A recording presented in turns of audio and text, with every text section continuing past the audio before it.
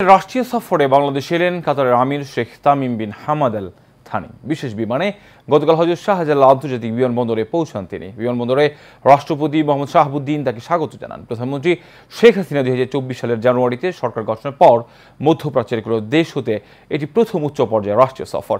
আজ সকালে পর রাষ্ট্রমন্ত্রী ডক্টর হাসান মাহমুদ কাতারের আমিরের সঙ্গে সৌজন্য সাক্ষাৎ করবেন। এরপর গণভবনের প্রধানমন্ত্রী শেখ হাসিনা কাতারের আমিরের সঙ্গে প্রথমে একান্ত বৈঠক এবং পরে আনুষ্ঠানিক দ্বিপক্ষীয় বৈঠক করবেন। রাষ্ট্রপতি মোহাম্মদ শাহাবুদ্দিন বঙ্গভবনে কাতারের আমিরের সৌজন্যে মধ্যাহ্নভোজের আয়োজন করবেন। তার সফরকালে দুই দেশের মধ্যে ছয়টি চুক্তি এবং পাঁচটি সমঝোতা স্মারক সই হওয়ার কথা রয়েছে।